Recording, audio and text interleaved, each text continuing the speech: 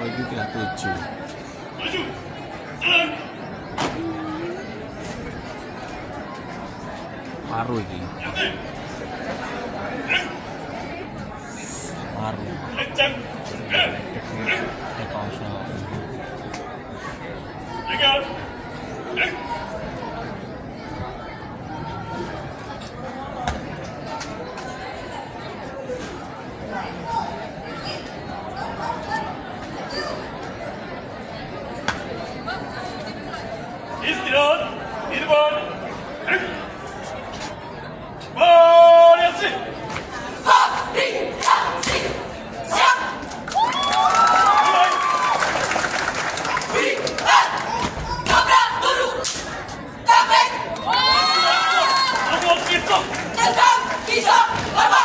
Tahun 1628 terjadi suatu peristiwa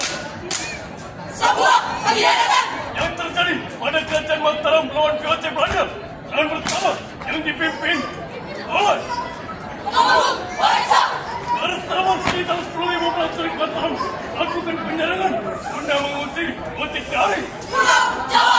Namun kurangnya perbekalan membuat prajurit Mataram mengalami kehancuran.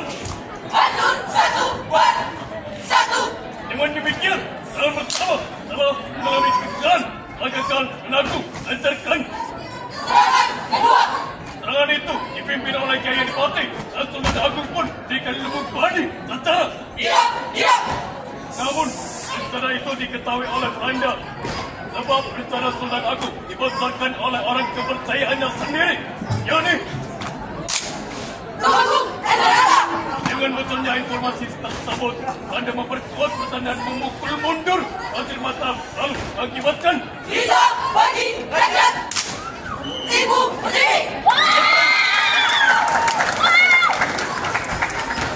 buka formasi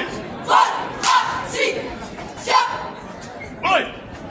Pimpin engkau ratu memerlukan wilayah hingga pelosok Jawa namun Aceh mencari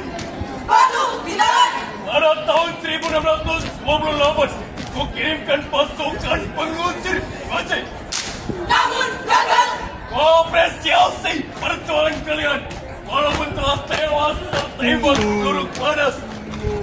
Oh, malangnya nasib kalian kepercayaanmu dia nanti banyak janji yang diingkari namun dah mengalami kegagalan dan perjuangan kalian. Hanya meninggalkan. Nanti Cerita bagi rakyat Ibu Pertiwi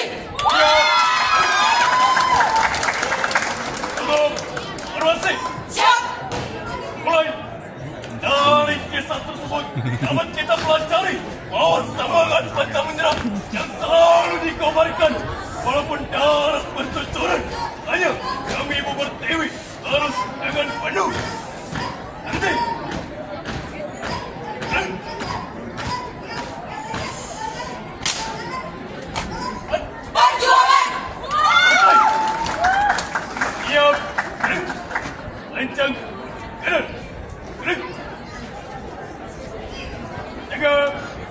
One, done.